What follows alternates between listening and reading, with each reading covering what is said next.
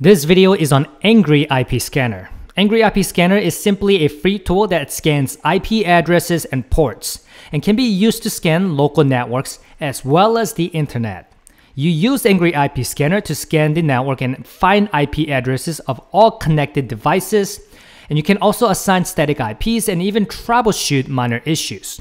You can scan IP addresses with IP range or by a text file. Angry IP Scanner will have fetchers like ping, hostname, and ports but additional fetchers can easily be added like MAC address, MAC vendor, HTTP sender, web detect, and so on.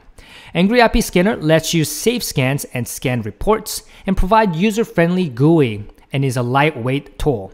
It is a simple yet very useful tool that is commonly used by ethical hackers to get IPs within a network.